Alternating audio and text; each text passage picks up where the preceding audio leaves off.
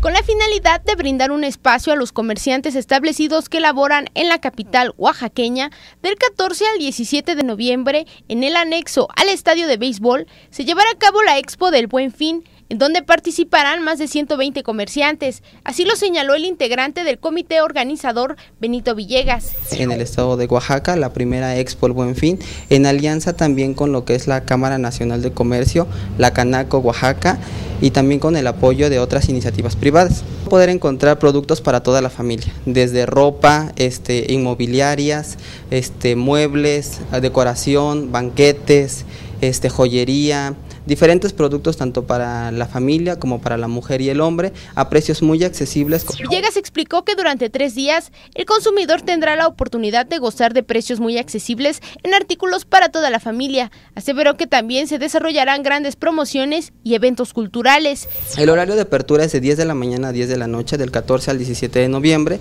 Vamos a contar con diversas actividades, también actividades artísticas, exhibiciones de baile, pasarelas, este, lucha libre el día domingo. Esto con el objetivo de darle al público, a los visitantes, otro atractivo más para no solamente la expo, sino también otro punto este, más, más para el tema eh, de diversión, de esparcimiento y de entretenimiento.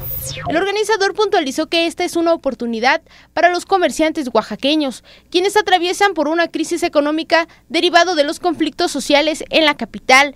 Finalmente exhortó a las y los oaxaqueños a aprovechar el espacio y disfrutar de diversas opciones de compra que el Buen Fin ofrecerá durante los próximos días. Significa un espacio más para poder dar a conocer sus productos, promocionarse y tener un espacio más para venta.